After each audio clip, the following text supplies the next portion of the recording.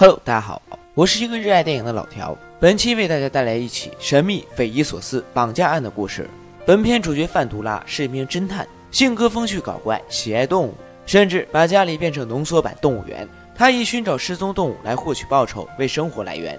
供养家中的动物以及自己的开销。本片开场，快递小哥迈着魔鬼的步伐，手中的快递箱在小哥一番灵动的翻转、摩擦声中破碎声不断。在路人惊愕的眼神中，快递小哥欢快地向一栋公寓走去。一路上，快递箱经过高空坠落、自由翻转、强力挤压等一番波折，终于在快递小哥的精准射球技术下到达目的地。快递的主人是一名留着大胡子的男人，男人正在训斥宠物狗，希望它保持冷静。破碎的快递显然不会被接收。男人在填写保险单时，快递小哥和宠物狗愉快地玩耍着，随后取走填好的保险单。快递小哥飞快地跑出公寓，上衣诡异地向外鼓出，一颗毛茸茸的头从衣襟处钻出。公寓。主人在发现宠物狗被换成玩具，愤怒地追上刚要发动车子的快递小哥，暴力击碎车窗，企图夺回宠物狗，但被快递小哥高超的车技甩开。这名快递小哥就是本片的主角——动物侦探范杜拉。只要是他接受的委托，失踪动物都能很快被找到。再次成功破案，一起宠物失踪案的范杜拉满载而归。在回出租公寓时，碰到催租的房东，房东怀疑杜拉带动物回家。经过一番细致的扫视后，房东不得不放弃。关上门的范杜拉一声口哨后，房间的角落窜出大批动物。包括猴子、小浣熊、企鹅、平头哥、猫狗等，物种之广，数量之多，堪称珍秀动物园。花开两朵，各表一枚。镜头转换到乔罗比运动会场，海豚雪花在一个夜晚被黑衣人绑架。雪花是迈阿密海豚队的吉祥物，在橄榄球大赛即将来临之际，吉祥物雪花被盗，严重影响了队员们的士气，甚至直接影响大赛的成绩。球队负责人下令，在周日前一定要找回雪花。无奈在同事的推荐下找到了范杜拉，希望可以获得动物侦探的特别帮助。初次会面，范杜拉随意表现，并不能让梅莎放心。他们来到运动会场进行现场勘查。范杜拉根据现场遗留的痕迹，很轻易地觉察到匪徒用四轮货车运走雪花。随后，他进入雪花生活的水池，仔细翻找每一寸区域。最终在过滤器里找到一颗橙色宝石，这是一种罕有的三角形宝石。发现重要线索的范杜拉驾车前往警局，不得不说，将头伸出车窗的开车方式前所未见。警局的警官们都在嘲笑范杜拉热衷的动物案，却为范杜拉完美的反击了回去。他找到自己的好友小黑警官寻求帮助，小黑警官迫于限制，并不想告知他，并劝告范杜拉不要涉及到这件事情。但是在范杜拉死缠烂打下，小黑无奈的告诉他案件的负责人和基本的发现。警局少尉艾露斯女士并不喜欢范杜拉，警告他不要插手，有专门的专家负责。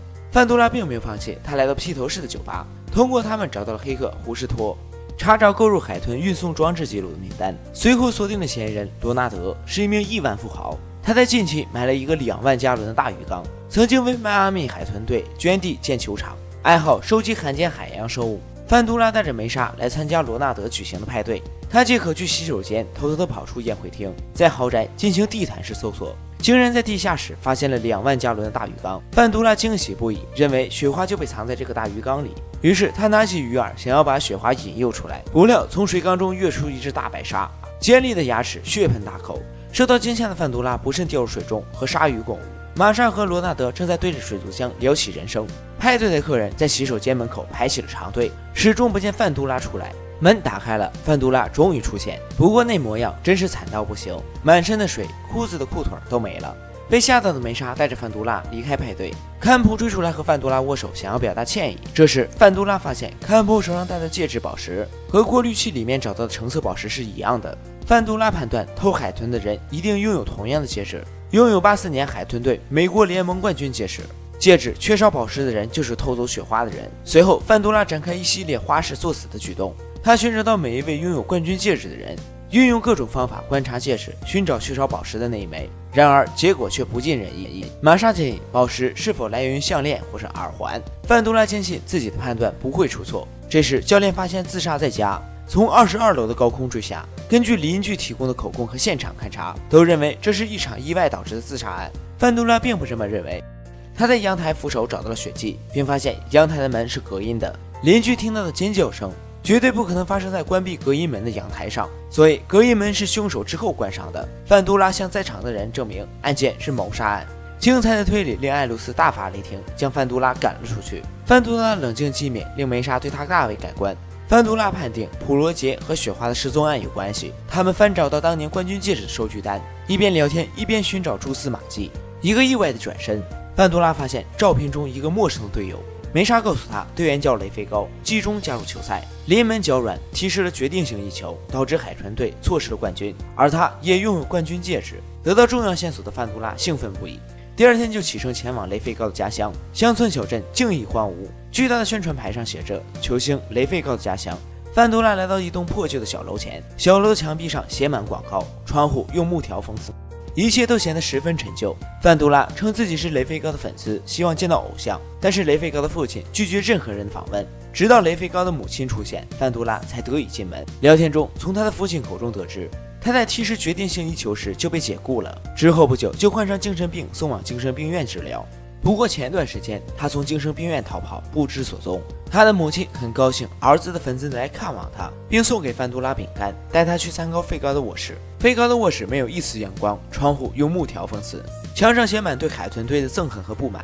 母亲认为他之所以会踢失，是因为马里诺开球时缝口向内。了解了费高的故事后，范杜拉立马给梅莎打电话，通知警察保护马里诺。他猜测马里诺应该会和雪花在一起。同时，自己也向马里诺所在的方向赶去，但是为时已晚。马里诺在外拍摄广告的时候，被两名身穿橄榄球队服的男子强行劫持了。范杜拉在追赶的途中遭到猛烈枪击，最终没有追到劫匪。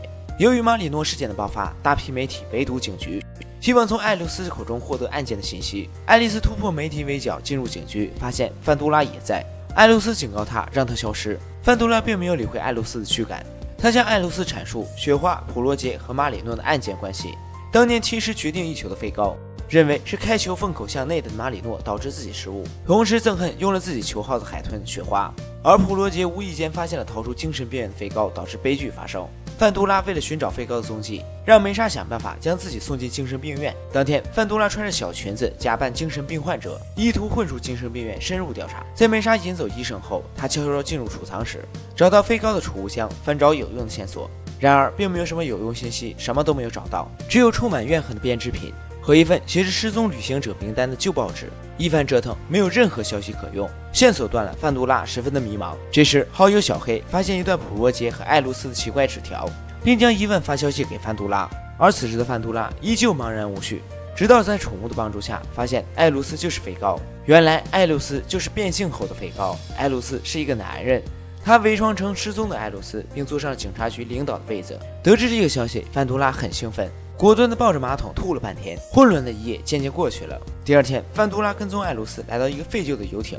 不得不说，艾露斯走路的步伐确实比较豪放。范杜拉小心地避开其他两名劫匪的视线，透过缝隙向外看去，在这里还真的发现了被绑架的雪花和马里诺。艾露斯问马里诺认不认识自己，马里诺一脸茫然地表示自己经常会撞到头。电视一直在播放球赛的开球，艾露斯表示自己最喜欢开球，风口向外，轻松地将球踢进房顶的洞里，随后就走出去拿点心。仓库只剩下马里诺和两名劫匪，劫匪将球用力扔向雪花，反被喷了一身水。愤怒的劫匪去拿鱼饵，决定教训雪花，半路被范杜拉设计撂倒了。营救马里诺时，艾露斯突然出现，利用警察领导的身份直接举报范杜拉。他就是偷盗海豚雪花的盗贼。接到消息的警局出动大批警员到达现场。小黑在出发前找到玛莎，一起前往现场。警员到达时，范杜拉和艾露斯正在打斗。艾露斯告诉众人，范杜拉偷盗海豚雪花。谋杀教练普罗杰命令警员开枪射杀他，但是范杜拉当面推理，揭穿了艾露斯的真面目，告诉所有人，艾露斯就是雷菲高，踢失一球被解雇，又从精神病院出逃，顶替失踪女人，在警界扶摇直上，谋杀了普罗杰，最终还想要报复马里诺。艾露斯被揭穿了，手上戴的戒指就是范杜拉一直寻找的，缺少一颗宝石的冠军戒指。影片的结尾，男主范杜拉成功解救海豚雪花，成为迈阿密海豚队的英雄，携手美丽的女友过上幸福生活。当然，如果不被打扰，他将会成功捕获价值两千五百元的鸽子。对范杜拉来说，生活应该会更加美好。本片是美国喜剧电影《神探飞机头》，故事结束的很具有喜剧感。最后一个镜头还在打架，结尾定格在范杜拉灿烂的笑脸上。